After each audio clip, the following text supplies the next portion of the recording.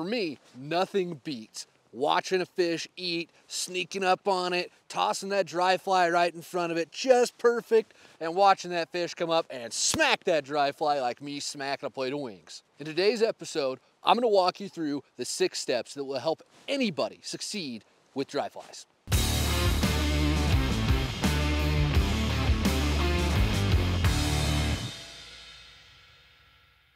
So let's say you pull up to the river, you get out of the truck, you walk on down, and you see this like 39 and 5 8 inch trout just rising like there's no tomorrow, just going to town on these bugs.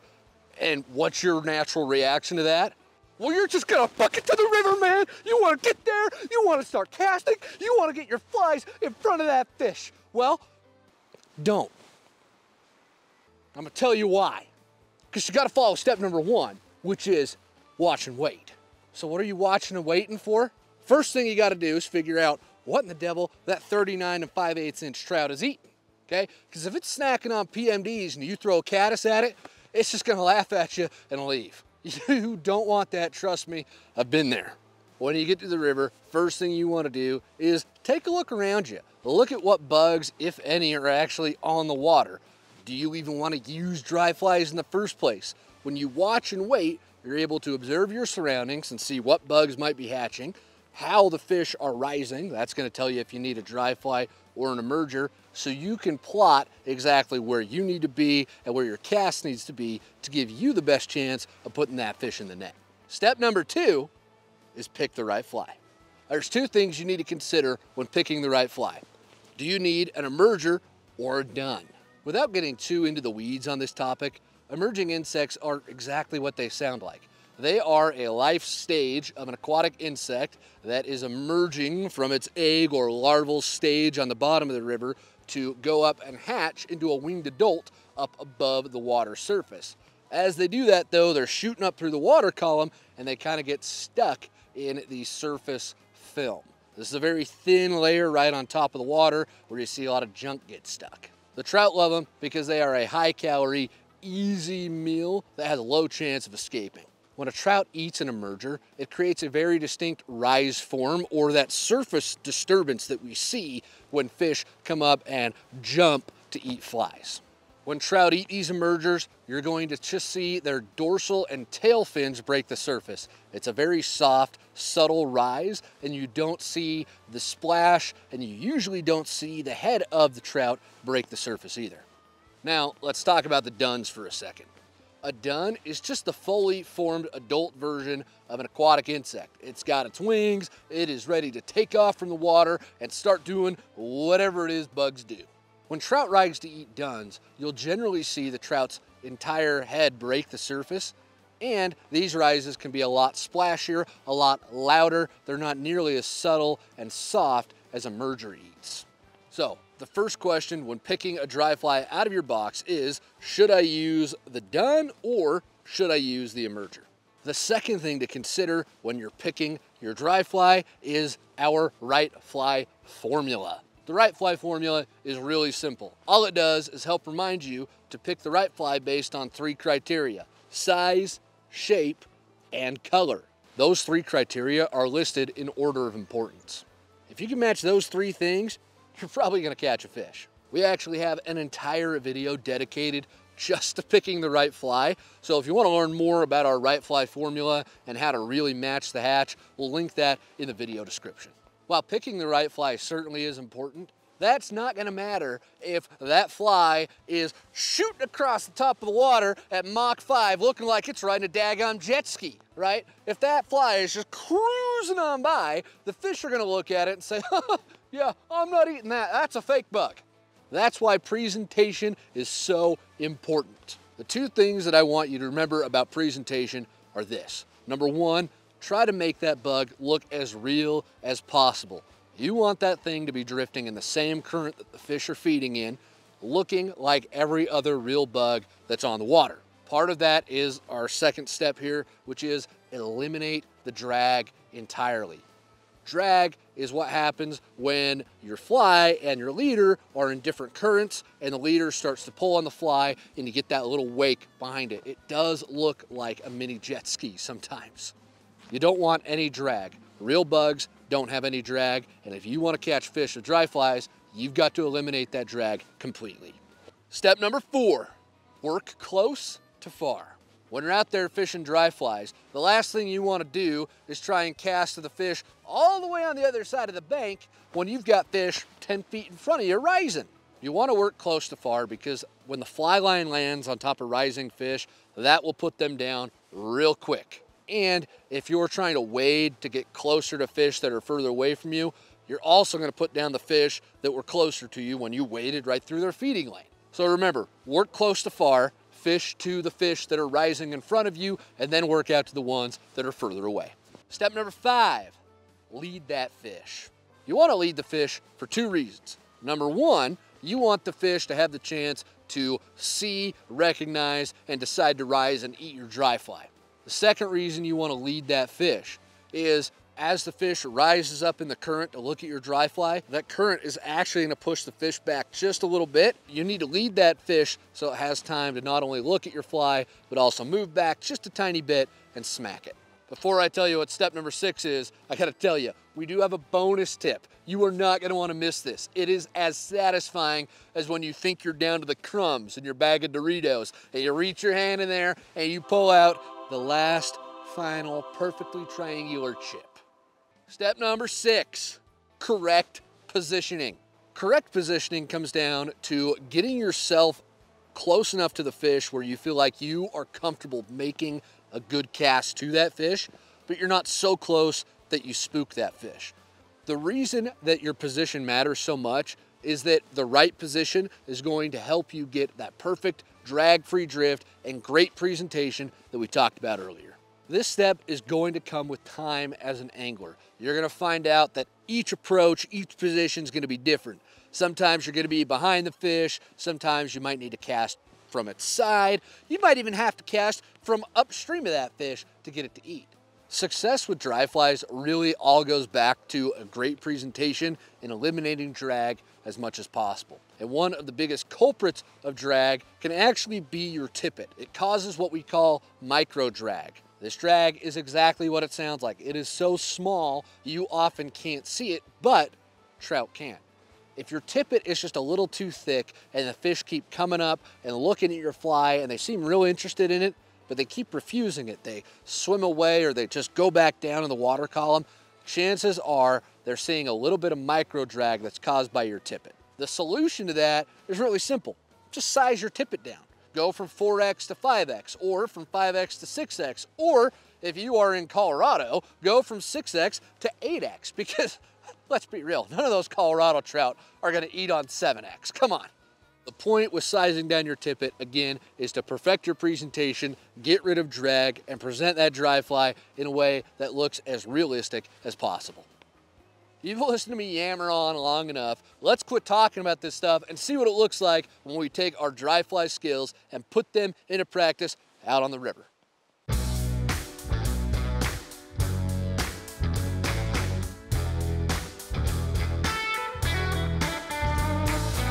First step to successful dry fly fishing.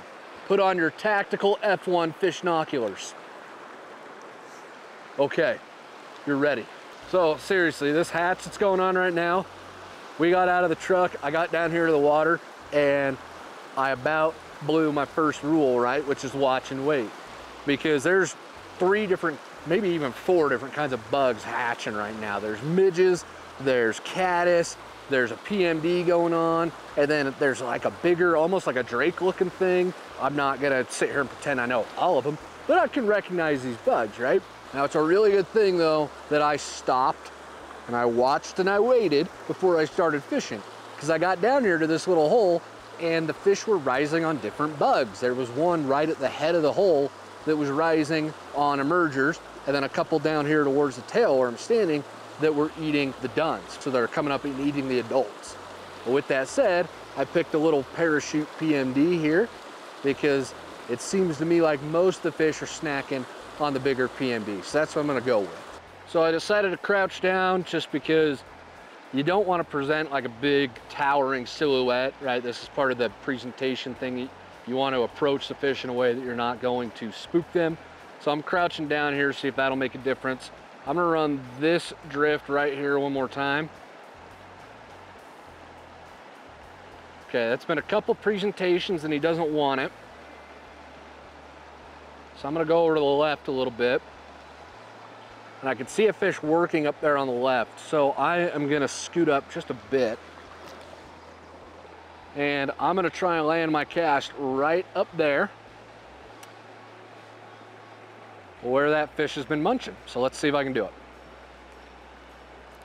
Pro tip, don't catch the bushes, all right? And uh, this is proof that we still do it.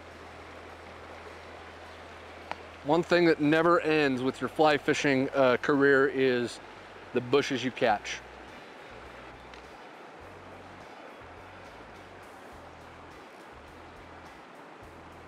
It's really hard to see the fly. It's kind of tricky light. So when that happens, uh, your best bet, is just kind of look where you think your fly should be. And if you see a rise, set the hook. so I've caught a lot of fish that way. It's a very common technique. You can't always see the fly. And I know that's something we hear from beginners a lot is it's so hard to see my fly, my dry fly on the water. Well, you'll get used to it. For now, just look where you think that fly is and set the hook when you see a rise that's in the general area. As for this guy, he is either not eating PMDs or I, I might have lined him or I'm not getting the right presentation. Because that's a couple of casts that he hasn't come up for. So I'm gonna go back to watch and wait again for a second and see if I can tell that he's eating something else.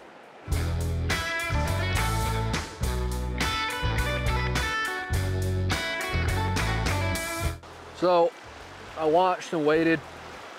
He hasn't started rising again, so I probably like really spooked the fish, put him down, or he just quit eating. Either way, fish aren't rising in this pool anymore, so it's time to head upstream, go to the next hole. This is something that you'll run into with dry fly fishing as well, is uh, sometimes they'll just stop in one little spot and just gotta move on. It's, it's kind of the name of the game a little bit. You could just sit here and wait for him to rise again, but I know there's a whole bunch of river in front of me and there's plenty of other bugs and plenty of other fish. So I'm just gonna, you know, take my lumps on this hole, realize that I probably screwed something up. I'm gonna move on to the next one and try and learn from that.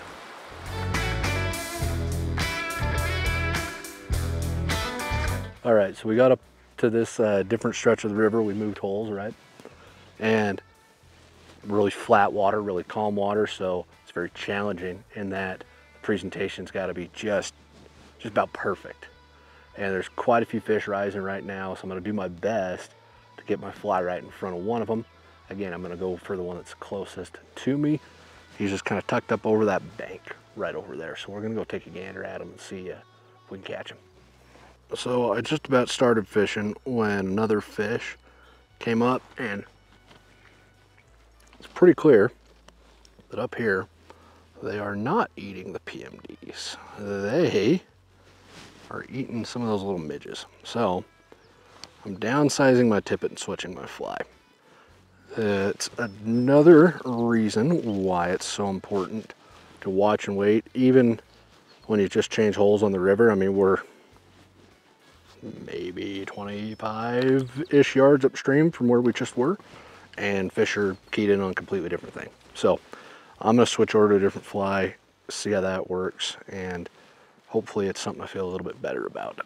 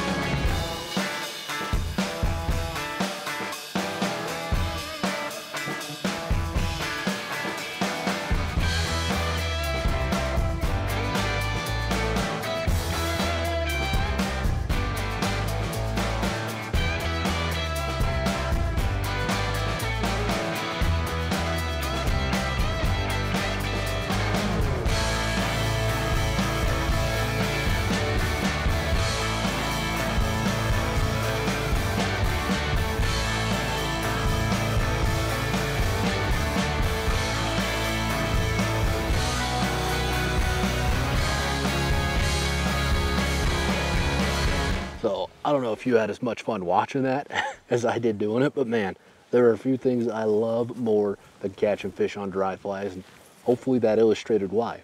Hopefully it also illustrated the points that we've discussed so far where we're talking about the importance of watching and waiting. I know I was using names of bugs like midges and drakes and PMDs and caddis. And remember, if you don't know all that, it's not super important yet. That's gonna come with time. This goes back to our right fly formula where we talked about all you really need to be able to do is observe what the fish are eating and then you can pick something that pretty closely matches that out of your box. That's what I did with these little midges that the fish are eating here. I picked the fly in my box that I thought was the best match and turned out it was. And the next video in this series is nymphs, so buckle up because it's about to get down and dirty.